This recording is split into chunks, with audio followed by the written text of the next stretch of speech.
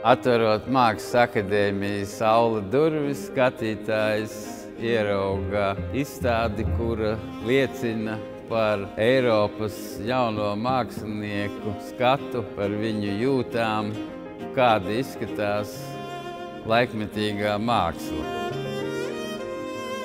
Laikmetīgās mākslas portrets studentu skatījumā ir ļoti dažāds. Video, grafika, glezniecība, instalācija. Skatītājs tiek aicināts iedziļināties, lasīt tekstus, ne tikai mieloties ar vizuālu attēlu.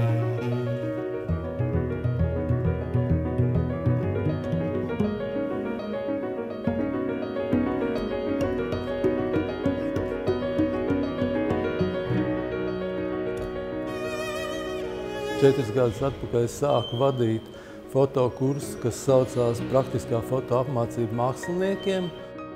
Šīs izstādes pamatmotīvs ir portrets cilvēks, un kur lielākā daļa tieši ir šīm analogajām filmām veidotie darbi, kas vēlāk skanēti un veidots izdruks. Bet ir arī daļa digitālās tehnikas.